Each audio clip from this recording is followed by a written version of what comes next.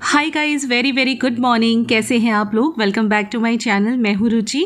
और देखिए, आज कैसा अजीब सा वेदर है। उधर धूप निकली हुई है और बारिश भी हो रही है। काले बादल भी हैं और साथ में बहुत तेज़ धूप है। बड़ा अजीब सा नज़ारा था तो आपके लिए कैप्चर किया। तो यहाँ पे आज किचन में मैं सब्ज़ी बना रही हूँ, ये वाली। ये आपको समझ में शायद ना आए, लेकिन यहाँ गुजरात में इसे चौड़ी कहते हैं। आप जो ये फलियाँ देख रहे हैं ना, इसे चौड़ी कहते हैं यहाँ पर तो ये चौड़ी की फलियाँ हैं और इनके दाने कुछ मैंने निकाले हुए हैं और ये बैंगन और आलू के साथ बहुत टेस्टी बनती है। बिल्कुल टिपिकल गुजराती सब्ज़ी है ये। गुजरात में बहुत बनाई जाती है।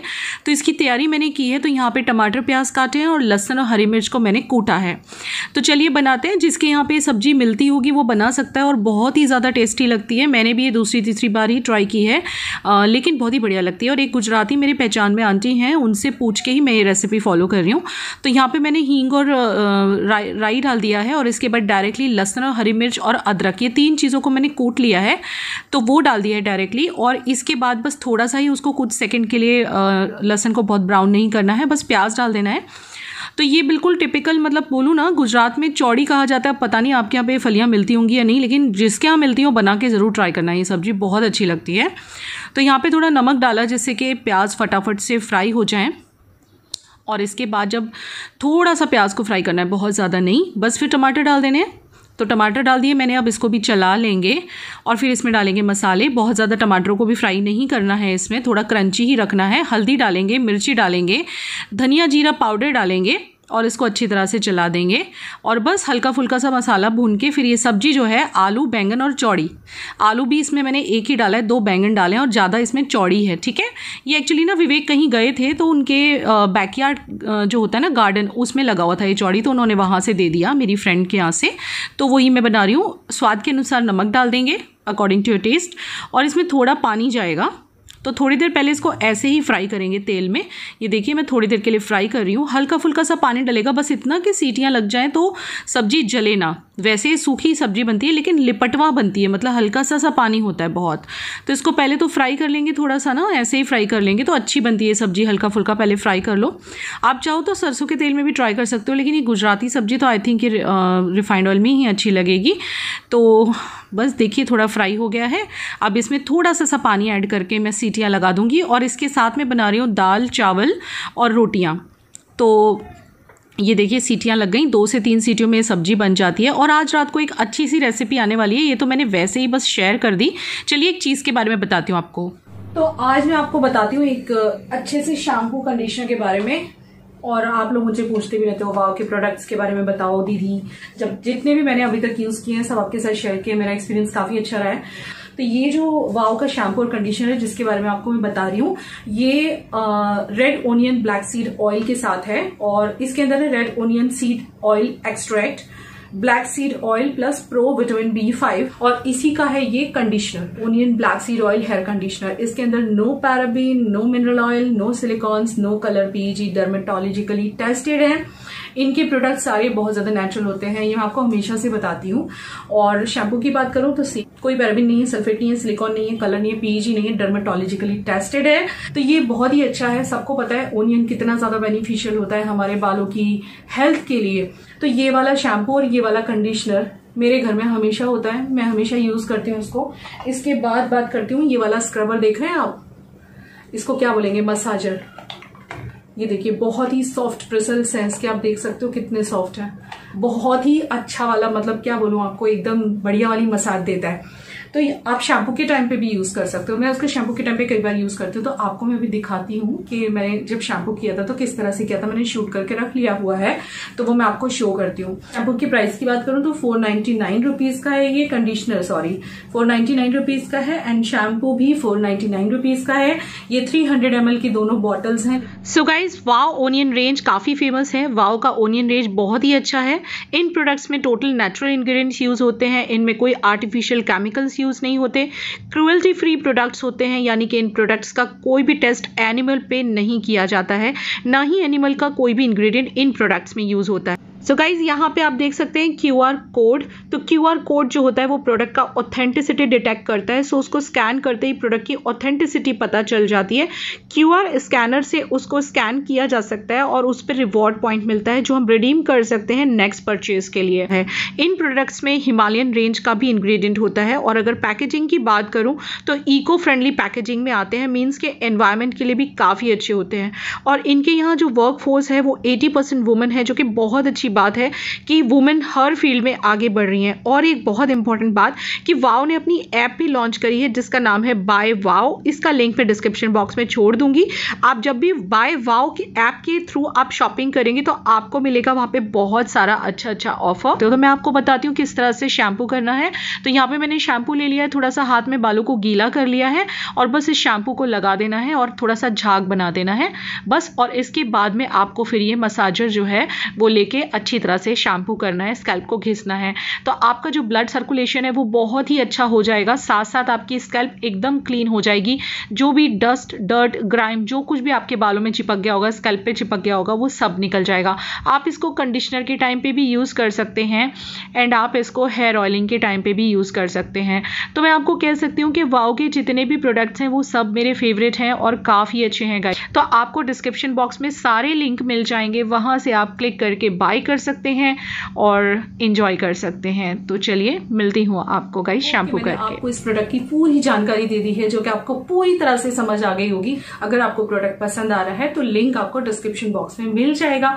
वहाँ पे आपको सारी डिटेल्स मिल जाएँगे। तो जाइए चेक कर लीजिए आज ही बाय कर लीजिए। तो चलिए आगे का ब्लॉग एंजॉय कर वेरी वेरी गुड इवनिंग कैसे हैं आप लोग? Welcome back to my channel five o'clock शाम के पाँच बजे हैं तो अभी हमारी शाम की चाय बाकी है और जस्ट मैं शैम्पू लेके आई हूँ। माथे में, मैंने तेल लगाया था कल रात को। दिन मैं सो रही हूँ। पहले मैं दिन में बिल्कुल भी नहीं सोती थी गाइस लेकिन आजकल मुझे बहुत नींद आ रही है। पता नहीं थकान थकान सी है काफ़ी दिनों से तो मैंने तकरीबन एक डेढ़ घंटा में सोई हूँ। अभी ने अपना स्कूल का वर्क इनकम्प्लीट रखा हुआ था मतलब पूरा नहीं कर रहा था वो। तो आज उसे विवेक लेके बैठ गए हुए हैं। आगे रूम में आज विवेक से मेरा झगड़ा हो गया इस बात को लेके। मैंने कहा, आज तुम इसको लेके बैठ जाओ और आज ये शाम को खेलने नहीं जाएगा। नहीं तो रोज ऊपर टेरेस पे खेलने जाता है शाम को। बट आज मैंने मना कर दिया हुआ है कि जब तक तुम्हारा वर्क कंप्लीट नहीं होता, तब तक तुम नहीं जाओगे। और ऐसे ही करना चाहिए, क्योंकि बच्चों की आदत होती है। बच्चे ना अपना काम जो है ना टाइम से पूरा नहीं करते। और फिर जो है वो पेंडिंग होता चला जाता है। तो बेटर है कि एक दिन उन्हें खेलने ना भेज के हम उनका काम कंप्लीट करा दें, वो ज़्यादा बेटर रहेगा।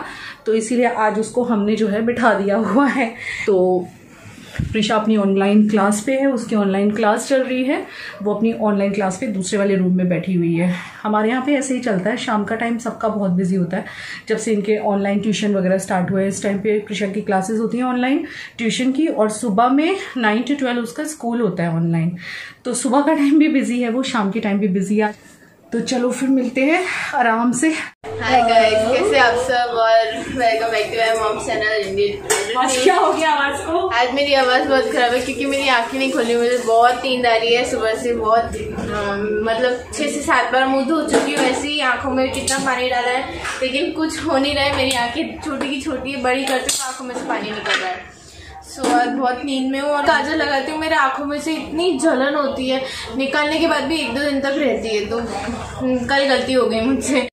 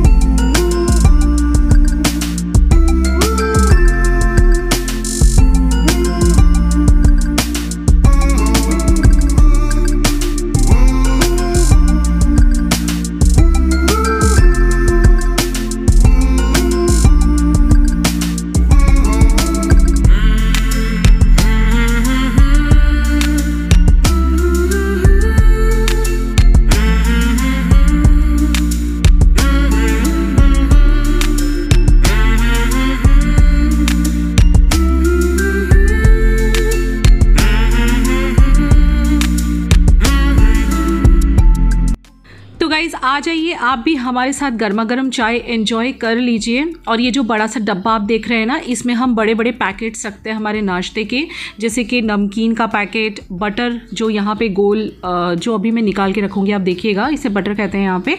बेकरी शॉप पे मिलता है, काफ़ी अच्छा लगता है चाय के साथ। और ये चिवड़ा, यानी कि नमकीन तो ये सब मैं एक बड़े डब्बे में करके रख देती हूँ। बहुत सारा नाश्ता था, इसके अंदर थोड़ा ख़त्म हो गया है। और ये स्टील की प्लेट लाने का रीज़न ये है, जैसे कुछ लोग कह रहे थे ना, आप ट्रे में रख के क्यों नहीं लाते? क्योंकि हम साथ में फिर इसमें नाश्ता भी निकाल लेते हैं। मेरे को ना यार बहुत पॉलिश वे में रहना नहीं आता है।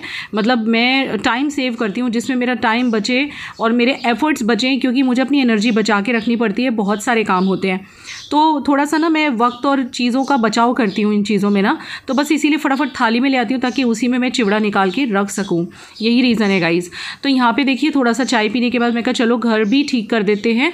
यहाँ पर अभी पढ़ रहा था, आज उसको काफ़ी सारा उसका वर्क इनकम्प्लीट था जो कि काफ़ी कंप्लीट करवाया है। तो फिर सोफ़ा वगैरह यहीं बैठ के पढ़ रहा था ना तो ये सब ठीक कर रही हूँ मैं। और कुछ लोग कह रहे थे, सोफ़ा चेंज कर लो, लेकिन अभी तो कहाँ से पॉसिबल है? अभी पॉसिबल नहीं है लॉकडाउन के टाइम में तो मतलब एक एक पैसा बचा के चलना है यार। और जैसे कि कल के व्लॉग पे भी कुछ कमेंट्स आए थे जो कि मैंने डिलीट भी कर दिए, मुझे अच्छे नहीं लगे मेरे कमेंट सेक्शन में वो कमेंट्स कि लाइक आप कपड़े तो बहुत अच्छे पहनते हो और बोलते हो कि तकलीफ़ है तो ये कपड़े कोई आज के ख़रीदे हुए नहीं है गाइज़ हमारा वक्त अच्छा भी था और अभी भी अच्छा है, मैं ऐसा नहीं बोल रही हूँ कि प्रॉब्लम है, लेकिन इंसान फ्यूचर का सोच के चलता है, इसीलिए वो सोचता है कि भाई चलो हम कुछ बिज़नेस स्टार्ट करें नया, जिससे कि आगे जाके ज़िंदगी में प्रॉब्लम ना आए। ऐसा कुछ नहीं है कि काम नहीं चल रहा है, काम तो चल ही रहा है गाइज़ सो so गाइस मैं दूध पी रही हूँ ओजीवा है। ये एज मैंने डाइट स्टार्ट किया मैं बहुत कम खा रही हूँ आजकल। तो इसीलिए पंखा चालू है। Thanks mummy.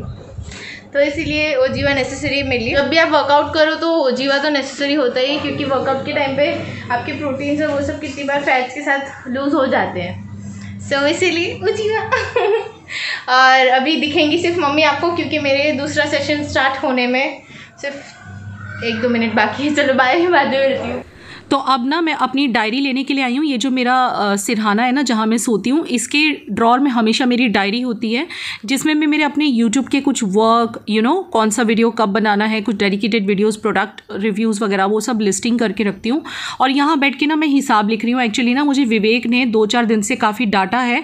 वो बोल रहे थे कि तुम हिसाब प्रॉपर नहीं लिखती हो, क्योंकि होता क्या है बिज़ी रहती हूँ, भूल जाती हूँ, और फिर ध्यान ही नहीं रहता कि कहाँ क्या खर्चा हुआ। तो मैं सच बोलूँ ना तो मेरे मम्मी भी कई बार मुझे बोलती थी कि तू हिसाब लिखा कर तो तुझे पता रहेगा। लेकिन मैंने कभी मेरे मम्मी, मेरे माँ बाप के कहने पर भी वो काम नहीं किया। मतलब कहने का मतलब जो काम मेरे माँ बाप मुझसे नहीं करवा पाए ना, वो पतिदेव ने मुझसे चुटकी में करवा लिया। ऐसे होते हैं पति लोग। तो वही बता रही हूँ, आज सुबह में काफ़ी डाटा इन्होंने मुझे। कि तुम हिसाब नहीं लिखती हो, क्योंकि मुझे ना दो चार चीज़ों का हिसाब नहीं मिल रहा था तो मुझे ऐसा लगता है कि सभी ने लिखना चाहिए। और आज से मैं भी रोज़ लिखूँगी। पहले लिखती थी मैं, लेकिन बीच में थोड़ा सा डिसकन्टीन्यू हो गया था। लेकिन अब मैं रोज़ लिखा करूँगी, बहुत ज़्यादा ज़रूरी है यार, नहीं तो फिर याद ही नहीं रहता कहाँ खर्चा हो गया। और आजकल इतना महँगाई का वक्त है ना, कि थोड़ा सा ध्यान रखना ज़रूरी है, हमने कहाँ खर्चा किया। तो ही हमें महीने के एंडिंग में पता चलता है कि हमने कौन से खर्चे बिना बात के किए और कौन से काम के किए। तो हम बिना बात के खर्चों को कट ऑफ़ कर सकते हैं, है ना? तो यहाँ पर मैं किचन साफ़ कर रही हूँ, क्योंकि मुझे बनाना है अब खाना और थोड़ी सी गंदी हो रही थी क्योंकि कुछ ना कुछ काम लगा रहता है ना तो कई बार मैं छोड़ भी देती हूँ, जब वक्त होता है तब कर लेती हूँ। आप लोगों को सबको पता है, मैं बहुत ज़्यादा हार्ड एंड फास्ट किसी चीज़ में रूल्स बना के नहीं रखती मेरे लाइफ में। बहुत ही फ्लेक्सिबल हूँ, अगर मुझे बहुत थकान लग रही है तो मैं छोड़ के सो भी जाती हूँ, क्योंकि इक्वली जितना घर का काम इंपॉर्टेंट है, उतना ही ज़रूरी है खुद का ध्यान रखना, खुद की सेहत का ध्यान रखना, क्योंकि हम ठीक रहेंगे ना, औरतें तो ही काम चलेगा। अगर औरतों को कुछ हो जाए ना तो घर का सारा काम स्टॉप हो जाता है और एक घर पूरा औरत के ऊपर ही चलता है यू नो घर के काम को लेके। तो बहुत ज़रूरी होता है, खुद पे भी ध्यान देना। यहाँ मेरी किचन साफ़ हो गई है। आज मैं सोची हूँ सोयाबीन चंक्स का पुलाव बनाने का। तो बस वही बनाऊँगी। यहाँ पे प्रिशा देखिए पानी लेके गई है। उसके ऑनलाइन क्लासेस चल रहे हैं। शाम को उसके ऑनलाइन ट्यूशन क्लास चलते हैं। सुबह में उसके ऑनलाइन स्कूल के लेक्चर्स चलते हैं। ये बहुत ही ज़्यादा बिज़ी रहती है। और एक साइड पर मैंने वॉशिंग मशीन लगा रखी है गाइज़ ये देखिए, इसकी ऑनलाइन मीटिंग चल रही है। तो यहाँ पे मैं कपड़े सुखाने के लिए आई हूँ क्योंकि आ, कपड़े भी धुल रहे हैं और विवेक भी मेरी हेल्प कर रहे हैं। ऐसा नहीं है जब भी मैं कपड़े धोती हूँ हमेशा वो हेल्प करते हैं। बल्कि मैं सच बोलूँ ना तो आजकल मशीन तो वही लगाते हैं। मैं ये कपड़े सुखाने वुखाने का काम कर देती हूँ। अब मैं सोच रही हूँ कि जल्दी automatic fully automatic washing machine लूँ लेकिन अभी जैसे कि मैंने बोला कि थोड़ा सा लॉकडाउन का टाइम है ना इसलिए हर एक का ऐसा होता है कि भाई फालतू पैसा नहीं खर्च करना जब तक काम चल रहा है तब तक चलाओ। और चलाना भी चाहिए। तो यहाँ पर मैं एक के ऊपर एक कपड़े डाल रही हूँ आप देख रहे हो क्योंकि स्पिन हो चुके हैं। तो वैसे भी एक के ऊपर एक भी डालूँगी ना तो सूख जाएँगे और हर दो तीन दिन में मशीन लगती है तो ऑब्वियसली कपड़े ज़्यादा हो जाते हैं, सुखाने की जगह कम पड़ जाती है। तो चलिए किचन में चलते हैं, तैयारी शुरू करते हैं। सोयाबीन चंक पुलाव बना रही हूँ, बहुत टेस्टी लगता है। इसकी बिरयानी भी बनती है, लेकिन आज मैं पुलाव बना रही हूँ और जितनी चीज़ें घर में अवेलेबल हैं, उन्हीं से बना रही हूँ और ये काफ़ी टेस्टी लगता है। तो मैंने पानी गर्म कर लिया है और ये एक पैकेट सोया चंक्स में पूरे के पूरे डाल दूँगी, एक ही साथ भिगो दूँगी। तो इनको गर्म पानी में भिगोना पड़ता है पहले तो मैं इनको सबसे पहले गर्म पानी में डिप कर दूँगी। तो यहाँ मैंने पानी गर्म करके रखा हुआ है, आपने तो इसमें मैं यहाँ पे डिप कर दूँगी इसको। कम से कम भी नहीं तो दस दस मिनट इनफ हो जाएगा। जितनी देर में सब कट वगैरह करूँगी, थोड़ी बहुत चीज़ें, उतनी देर में ये सॉफ्ट हो जाएँगे। फिर इसका ये वाला गर्म पानी निकाल के ठंडे पानी से धो के इसको स्क्वीज़ कर लेना इसके पानी को। तो ये देखिए, एक बार मैंने चला दिया। अब इसको मैं साइड पर रख देती हूँ और बाकी की तैयारी करती हूँ। सबसे पहले चावल भिगो दूँगी। तो मैं यहाँ पर बासमती राइस यूज़ कर रही हूँ दावत के। तो ख़त्म ही होने वाले हैं। मैं ये पैकेट लेके आई थी कुछ दिन पहले। तो ये जब भी पुलाव या बिरयानी की बात आती है तो हमेशा बासमती राइस ही अच्छा लगता है और बहुत टेस्टी बनते हैं बासमती राइस का। कोई भी पुलाव बना लो आप, कोई भी बिरयानी बना लो। तो इसको मैंने भिगो दिया, अब मैं इसको साइड पर रख देती हूँ और बाकी की तैयारियाँ शुरू करती हूँ। ये काफ़ी सॉफ्ट होने लगा है, पर अभी थोड़ी सी कसर है। तो यहाँ मैंने आलू काटे हैं, प्याज काटा है टमाटर काटूँगी और कैप्सिकम है ग्रीन चिली है। आपके यहाँ पे अगर कैरेट्स हैं या यू नो फ्रेंच बीन्स हैं तो वो सब भी ऐड कर सकते हो आप। बच्चों के लिए काफ़ी न्यूट्रिशियस रहता है ये पुलाव, क्योंकि पहली बात तो इसमें न्यूट्रीनेगेट्स हैं सोया चंक्स हैं तो वो काफ़ी प्रोटीन से भरा हुआ रहता है और साथ में वेजीज़ आप बहुत सारी ऐड कर दो तो काफ़ी न्यूट्रिशियस हो जाता है। बच्चे इस बहाने खा लेते हैं अदरवाइज़ बच्चे जो है ना नाटक करते हैं। प्रिशा तो सब खा लेती है, अभी का थोड़ा रहता है। तो यहाँ पर मैंने टमाटर काट लिया हरी मिर्ची को भी छोटे पीसेज में कट कर लूँगी मैं। और ये जो कैप्सिकम है, ये थोड़े से ज़्यादा दिनों की रखी है, इसलिए लाल सी हो गई है, लेकिन चलेगा। लेकिन मेरे घर पे आज कैरेट्स नहीं है, नहीं तो मैं ज़रूर ऐड करती। और इसके साथ साथ हरा धनिया भी नहीं है तो उसकी जगह मैं कसूरी मेथी डाल दूँगी। और वैसे भी कसूरी मेथी का फ्लेवर बहुत ही बढ़िया आता है। तो इसको मैं बड़े बड़े चंक्स में काटूँगी मतलब कैप्सिकम कैप्सिकम को छोटा छोटा आप जितना, जैसे आपको पसंद है ना, उसके अकॉर्डिंग आप डाल सकते हो। ऐसा कुछ नहीं है कि आपको इसी तरह से डालना है। और आप जब इसे कुक करोगे तो चाहे आप सरसों का तेल यूज़ कर लो, चाहे आप रिफाइंड ऑयल यूज़ कर लो, या देसी घी में कुछ लोग छौंकते हैं, इसको बघार करते हैं। तो ये सब कट हो गया है। चलिए बाकी की तैयारी करते हैं। और जब बिरयानी में डालते हैं ना इसे सोया चंक को तो अलग तरह से डाला जाता है। यहाँ तो मैं सिर्फ़ भिगो के डाल रही हूँ। तो ये देखिए काफ़ी फूल चुका है अब। तो इसका मैं पानी निकाल दूँगी और थोड़ा सा आरओ का मतलब ऊपर का ठंडा पानी ले लूँगी नॉर्मल वाटर ताकि मैं स्क्वीज़ कर सकूँ। नहीं तो हाथ में गर्म लगेगा। अब इसको स्क्वीज़ करके मैं इसी वाली प्लेट में साइड पर रख दूँगी। तो इसका ना वो भी आता है आ, क्या बोलेंगे? क्रश भी आता है। सोया क्रश भी आता है इसे सोया कीमा बोलते हैं। सोया का कीमा भी बनता है। वो भी बहुत टेस्टी लगता है, वो भी मैं आपके साथ जल्द शेयर करूँगी। सोयाबीन की बहुत सारी रेसिपीज़ अब जल्दी से आपके साथ शेयर करने वाली हूँ। तो उसका वो कीमा भी बहुत बढ़िया बनता है। कीमा से आप नॉनवेज मत समझिएगा, सोया कीमा। तो बहुत ही बढ़िया लगता है। तो मैंने सब निचोड़ के रख लिए साइड पे। अब देखिए, सारी की सारी तैयारी मेरी डन। ये कसूरी मेथी भी मैंने निकाल ली है। और चलिए, अब शुरू कर देते हैं। तो यहाँ मैं कुकर चढ़ा रही हूँ। कुकर में मैं रिफाइंड ऑयल डालूँगी। आज मेरे घर में घी भी थोड़ा सा ही है। काफ़ी सारी चीज़ें मार्केट से लाने वाली हो गई हैं। मुझे तो टाइम मिलता नहीं जाने का। विवेक को लिस्ट बना के भेज दूँगी। और कल एक क्वेश्चन आया था कि आपका मसालेदानी गंदा हो रहा है। तो गाइज़ इसमें ऐसा हुआ था, मैंने साफ़ करवाई थी कुछ दिन पहले। लेकिन अभी कल आगे रूम में लेके आया था नमक डालने के लिए किसी चीज़ में। तो वो उससे थोड़ा सा हिल गया था परसों परसों। तो वो थोड़ा सा मसाले वो हो गए। तो मैं एक दो दिन में से फिर से साफ़ करवा दूँगी। आंटी आने वाले अब काम करने के लिए। तो यहाँ आपने देखा, मैंने रिफाइंड ऑयल में पहले ज़ीरा डाला, तेज पत्ता डाला हींग डाला और उसके बाद में मैंने लहसन कटे हुए दो तीन पीसेस डाले थे, बस ज़्यादा नहीं। आप चाहें तो ज़्यादा लहसन डाल सकते हैं, उस तरह से लहसन अच्छी लगती है और फिर प्याज डाल देना है।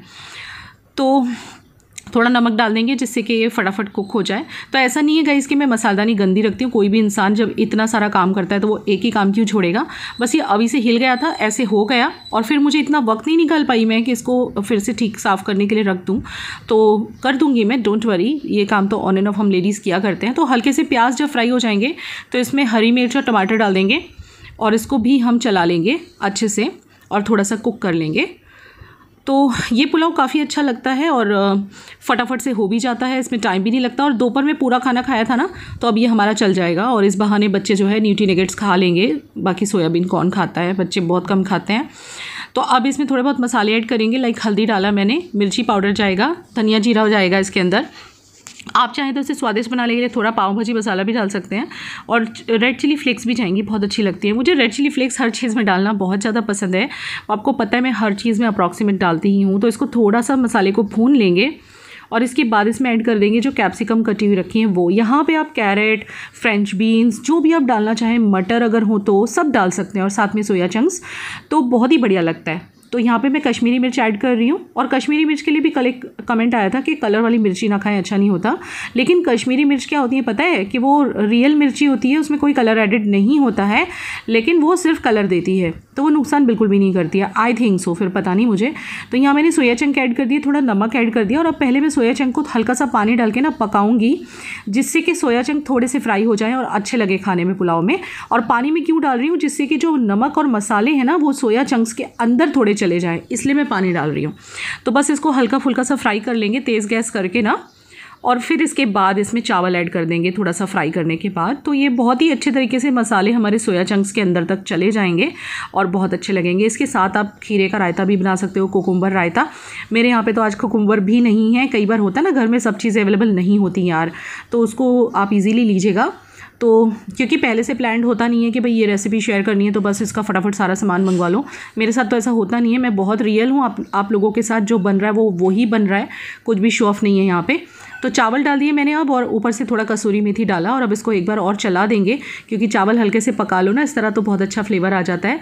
According to your taste add salt जितना भी आपको नमक पसंद है, उस हिसाब से आप डाल दीजिए। और फिर ये जब हल्के से फ्राई हो जाए ना चावल, क्योंकि इस तरह से जब फ्राई करते हैं ना तो बहुत बढ़िया फ्लेवर आता है। बस फिर पानी डाल देना है, जितना भी आपको डिज़ायर्ड वाटर है मतलब ज़्यादा तो नहीं पड़ेगा। बासमती राइस में तो मैं डबल के हिसाब से डालती हूँ, अगर एक कटोरी चावल है तो दो कटोरी पानी। इस हिसाब से मैं तो डालती हूँ पुलाव में। और यहाँ कसूरी मेथी जो बची हुई है, वो पूरी की पूरी डाल दी। यहाँ पे आप हरा धनिया भी ऐड कर सकते हैं, पुदीना भी ऐड कर सकते हैं। लेकिन मेरे यहाँ पे दोनों ही चीज़ें नहीं हैं तो मैंने कसूरी मेथी डाल दिया है। इसका फ्लेवर भी बहुत ही बढ़िया आता है। बस अब चाहें तो आप इसके ऊपर से एक चम्मच देसी घी डालें फ्लेवर के लिए या बटर डालें। और फिर इसको बंद करके सीटियाँ लगा दें। पानी देख लीजिए आपके हिसाब से, जैसे मैंने बोला, मैं तो अंदाजे से डाल देती हूँ। बासमती राइस में ज़्यादा पानी वैसे ज़्यादा नहीं है, नहीं तो चिपचिपे राइस हो जाते हैं, इसीलिए ध्यान से डालिएगा। और बस अब इसको बंद कर देंगे थोड़ा सा चला चला के। तो ये पुलाव ज़रूर ट्राई कीजिएगा। बहुत ही हैंडी है, फटाफट से हो जाता है और काफ़ी टेस्टी लगता है गाइस। तो चलिए अब इसको बंद कर देते हैं। आपने देख ही लिया कितना कलरफुल, कितना बढ़िया लग रहा है। तो अब इसको बंद कर देती हूँ मैं और इसमें सीटियाँ लगा देंगे दो से तीन। और हमारा पुलाव हो जाएगा एकदम रेडी चलिए मिलती हूँ आपको। तड़का लगा दिया न्यूट्री नेगेट्स यानी कि सोया जंक वाला पुलाव। बहुत अच्छा लगता है ये, और इसीलिए मैंने कहा, चलो, आपके साथ रेसिपी शेयर कर दूँ। वैसे कई तरह से बनता है, ये तो पुलाव की फॉर्म में मैंने बनाया है। सोया चंक की बिरयानी भी बनती है, जिसमें सोया चंक को मैरिनेट किया जाता है दही डाल के थोड़ी देर के लिए। तो नेक्स्ट टाइम जब मैं कभी बनाऊँगी तो वो भी आपके साथ शेयर करूँगी। उसमें मैरिनेट करना पड़ता है, दही डाली जाती है। ये सिंपल वाला सोया चंक पुलाव है। इसमें आप और भी वेजीज डाल सकते हो लाइक कैरेट जो भी घर में है। मेरे घर में फ़िलहाल सिर्फ़ कैप्सिकम था, आज हरा धनिया भी नहीं है। हरा धनिया जैसे आता है समझ लो आप एक दो दिन में मैं पूरा कर डालती हूँ और विवेक के पीछे लग जाती हूँ। आज भी मैं शाम को इन्हें बोली लेके आओ, लेकिन ये बोले, अब मैं नहीं जा रहा स्पेशल धनिया लेने के लिए। तो साथ में हम लोग वो खाएँगे, अचार खाएँगे, क्योंकि दही भी घर में नहीं है और मैं मंगाना भी भूल गई हूँ तो अचार के साथ आज हम लोग खा लेंगे, देसी घी ऊपर से डाल के, मज़ा आता है। और आज सुबह में जो सब्ज़ी बनाई थी ना, वो बिल्कुल गुजराती सब्ज़ी है मतलब चौड़ी बोलते हैं उसे यहाँ पे, जो वो फलियाँ थी ना वो चौड़ी की फली बोलते हैं तो मुझे नहीं पता आपके यहाँ उधर मिलेंगी या नहीं मिलेंगी। हमारे यहाँ पे मिलती हैं तो मैंने बनाया, बहुत अच्छा बना था, बहुत टेस्टी बना था। रोटी के साथ कंबाइन किया था और दाल चावल के साथ कंबाइन किया था। तो चलिए फिर अब आराम से मिलती हूँ आपको खाना वाना खा के। और बनता है तो दिखाती हूँ कैसा लगता है, ये पुलाव अच्छा लगता है। जब कोई ऑप्शन ना मिल रहा हो, सोया चंक की सब्ज़ी भी बहुत अच्छी लगती है आलू के साथ। और ये न्यूट्रिशियस भी होते हैं, बच्चों को काफ़ी सारा प्रोटीन मिलता है इसमें से। तो बाद में मिलते हैं आपको। तो गाइज़ यहाँ पे सीटियाँ लग रही हैं और मेरा पुलाव बन चुका है। वैसे तो मैं सीटी निकालती नहीं हूँ, लेकिन आज बच्चों को लगी ज़ोरों की भूख तो मैंने सीटी निकाल दी है, विसल। और अब इसे खोलते हैं। देखिए कितना यमीलिशियस लग रहा है। तो सबसे पहले तो इसके अंदर एक चम्मच भर के देसी घी डालना है। इसका फ्लेवर बहुत बढ़िया आता है। यहाँ पे आप ये स्किप भी कर सकते हैं अगर नहीं पसंद है और या फिर आप बटर भी डाल सकते हैं। तो अगर इसमें अभी हरा धनिया वगैरह होता और कैरेट और ये सब भी होता ना फ्रेंच बीन्स वगैरह तो बहुत ही बढ़िया लगता देखने में। लेकिन ये भी बहुत टेस्टी बना था। चलिए मैं इन्जॉय कर लेती हूँ। मिलते हैं नेक्स्ट व्लॉग में। इस व्लॉग को भी लाइक ज़रूर कर दीजिएगा। Bye take care love you